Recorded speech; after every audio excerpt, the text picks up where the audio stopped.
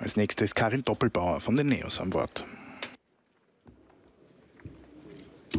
Sehr geehrte Frau Präsidentin, sehr geehrter Herr Bundesminister, Hohes Haus, liebe Zuseherinnen und Zuseher. Äh, bevor ich jetzt mit meiner Rede beginne, möchte ich doch noch ganz kurz auf meinen Vorredner eingehen ähm, zum Thema Abschaffung kalte Progression. Sie haben gerade gesagt, Sie schauen sich das an. Ähm, wir finden, das gehört jetzt umgesetzt. Wenn Sie im letzten Budgetausschuss waren, haben Sie den Herrn Professor Felderer gehört. Er sagt, das ist unehrlich und das finden wir auch und das ist nichts, was warten muss bis 2020, 2021. Das könnten Sie jetzt beschließen, noch vor dem Sommer und damit wirklich etwas tun, was den Menschen was bringen wird. So, sehr geehrter Bundesminister, äh, nur ganz zum Beginn meiner Rede. Ähm, ähm, ich möchte vorab sagen, dass die Kritik, die ich jetzt äußern werde, natürlich nicht Ihnen persönlich gilt. Sie sind ja erst seit ein paar Monaten auch im Amt. Äh, worum geht es heute? Wir haben diese Anfrage gestellt zum Thema Kapitalertragssteuer. Wir haben gehört, ist erhöht worden mit 1. Jänner 2016 um zweieinhalb Prozent. Und warum ist das passiert? Es ging darum, dass man sich versprochen hat, 350 Millionen mehr einzunehmen, um damit die Steuerreform gegenzufinanzieren. Wir Neos haben sich damals auch durchgerechnet und wir sind zu sehr anderen Ergebnissen gekommen. Das haben wir auch kommuniziert. Aber wir haben naturgemäß nicht den gleichen Zugriff auf die Daten äh, wie die Regierung. Und dennoch, uns sind diese Zahlen damals auch schon spanisch vorgekommen, wie man so schön sagt. Und was sind jetzt die Ergebnisse? Wir haben leider Recht behalten. Bei der Besteuerung von den Dividenden haben wir einen Rückgang von Steuernahmen von 1,4 Milliarden Euro.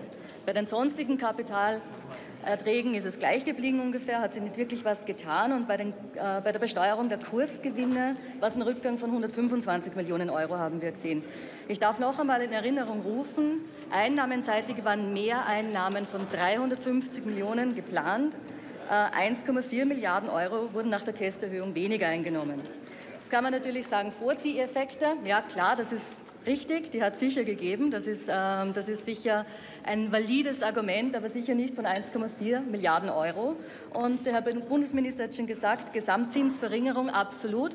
Das ist auch ein sehr valides Argument und das stimmt natürlich. Ähm, aber man kann ja auch ein bisschen in die Zukunft planen und ähm, ich muss schon sagen, bei allem Respekt, man hätte das auch vor, vorher wissen können. Also hier mit diesen 350 Millionen reinzugehen, ist schon etwas, äh, was absehbar war, dass es so einfach nicht passieren wird.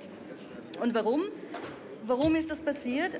Rechnen unsere Beamten schlecht? Haben sie da einen schlechten Job gemacht? Oder versucht hier, oder hat die alte Bundesregierung hier versucht, den Steuerzahlerinnen und Steuerzahlern ein bisschen beruhigenden Sand in die Augen zu streuen? Und wir glauben, dass genau das passiert ist. Wir glauben, unsere Beamten können durchaus rechnen. Zusammenfassend, die geplanten Einnahmen sind nicht gekommen oder sehr, sehr viel ähm, ja, sind nicht gekommen in diesem Fall. Und die Ausgaben, das sehen wir auch sehr oft, sind bei ganz vielen ähm, ähm, Projekten höher als geplant. Ein Beispiel, wir haben das auch gestern schon besprochen, Abschaffung des Pflegeregresses.